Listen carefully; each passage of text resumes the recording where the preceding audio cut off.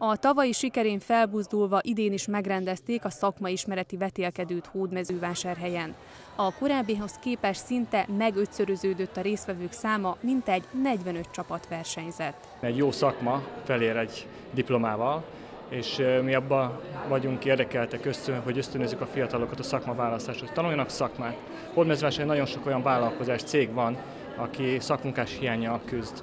Ezek a cégek többek között azok a cégek, akik támogatják ezt a programot, támogatják ezt a vetélkedőt. Az ő számokra is nagyon fontos az, hogy a jövőben nagyon jó szakmunkásaik legyenek, és ez egy biztos megélhetést tudjanak biztosítani ezeknek a fiataloknak, illetve majd a családjaiknak. Vásárhelyen széles a tárháza a választható szakmáknak.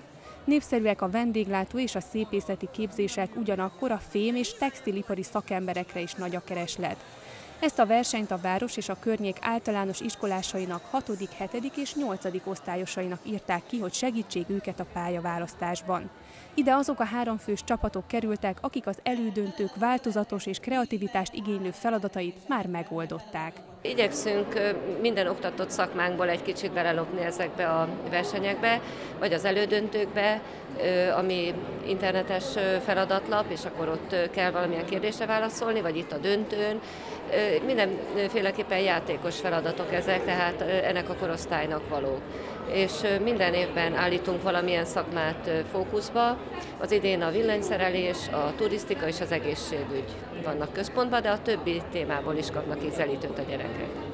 Az általános iskolát idén befejező Hegyi Ferenc Arnold is azért jött erre a versenyre, hogy eldöntse, melyik intézményben folytassa tanulmányait.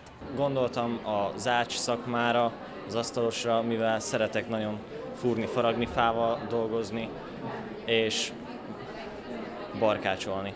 A szakmák megismertetése és népszerűsítése mellett a diákok számára tét is vonzó volt, hiszen a legjobbak tablettet nyerhettek.